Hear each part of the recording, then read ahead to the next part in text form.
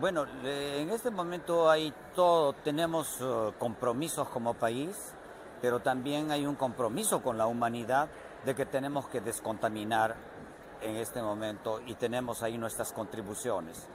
Y dentro de las contribuciones sabemos que una energía renovable es una energía mucho más limpia y eso no afecta la salud de las personas y nosotros tenemos como desde el Ministerio del Ambiente como propósito la persona, la gente y eso nos mueve a que tenemos que renovar. Pero eso no es tan fácil. Eso significa que hay que eh, reorganizar nuestra matriz energética. Esa matriz energética también nos permite una transición energética y para eso tenemos que plantearnos una hoja de ruta por la cual en este proceso podamos caminar y decir de que tenemos que cambiar esta situación.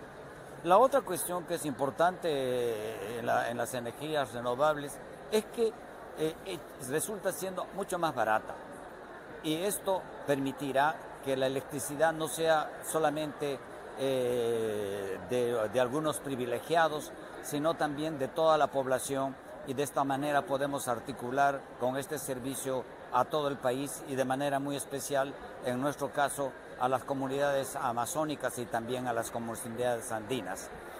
Pero también es importante porque esto, esta situación de la energía también cambiará nuestro transporte, ¿no? que es uno de los grandes contaminantes, y esto permitirá también un mundo más limpio y un mundo posible.